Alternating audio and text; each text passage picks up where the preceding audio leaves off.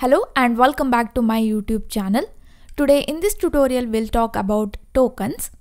A token is the smallest individual unit in a program.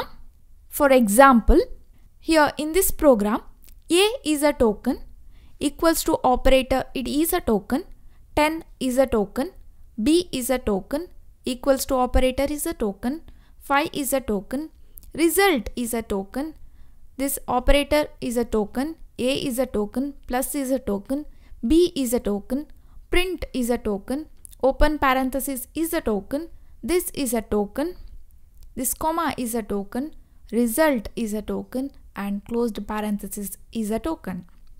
All statements and instructions in a program are built with tokens. Program is a set of instructions that computer follows in order to perform or complete a particular task, right? And you can write a statement. You can build statements and instructions using tokens. And you can create token using character set. We can define token in another way also. That is, one or more character grouped in sequence to form meaningful words and these words are called tokens. Okay? And next let's see how many types of tokens are available in Python programming language. Identifiers, keywords, operators, literals, punctuators, these are all tokens. Just for an example, here we have a equal to 10. a is a token, equals to operator is a token, 10 is a token. But a is a name, that's why it comes under the identifiers. This is an operator, 10 is a constant, so it comes under the literals. Okay?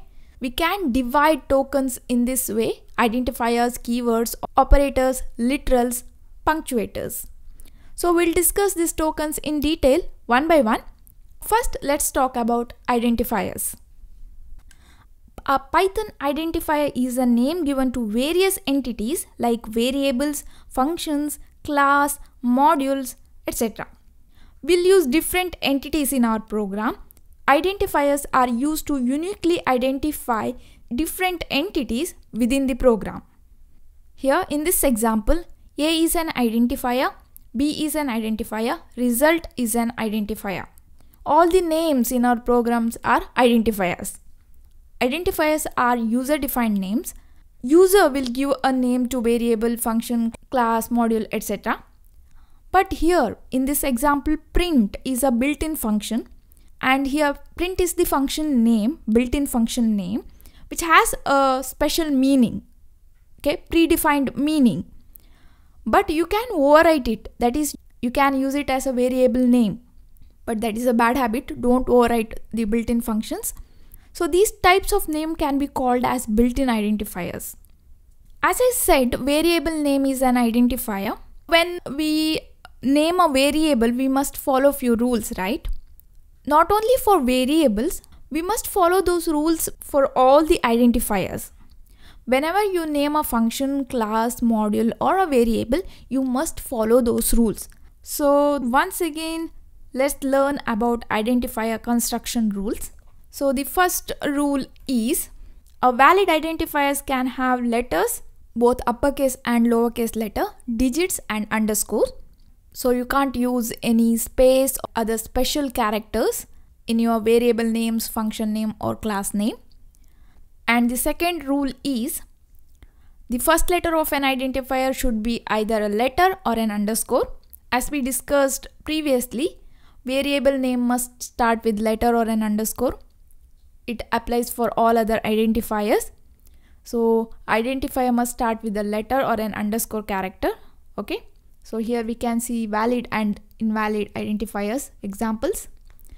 And the third rule is you can't use keywords as identifiers. So we'll discuss about keywords in the next part. Keywords are the reserved words. So you can't use keywords as identifiers, right? So this is about identifiers and its construction rules. So next let's talk about keywords. The second token, keywords. Okay, keywords are the reserved words. Keywords are predefined and reserved words that have special meaning in a language. So they can't be used as a variable name, function name, or any other random purpose. Keywords are the reserved words which have special meaning, okay, predefined meaning. So you can't use it for other purpose. If you try to use a keyword as a variable name, if you try to assign a value to it, you will get error. Okay, for example, for if break, these are all keywords.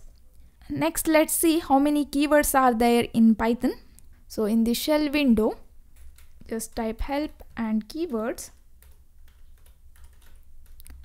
and enter. Here we can see list of Python keywords. So the number of uh, keywords in Python depends on the Python version you are using. And here you can see false, none, true, and, as, assert. These are all the keywords. Alright, next. If you want to check whether a word is a keyword or not, you can use is keyword function. First we need to import keywords for that. Then you can use like this. You'll get output as true or false. Alright. So next, keywords are case sensitive. Just remember this. So this break and break is different. Okay, this is a keyword, but this is not a keyword. And also Python keywords are the reserved words, so you can't use it as variable name, function name, or class name or module name. Okay, be careful about these two points about keywords. So that's it for now. In this tutorial, we talked about identifiers and keywords. In the next tutorial, we'll talk about operators. Thank you for watching. Don't forget to subscribe to my channel. I will meet you next class. Till then, take care.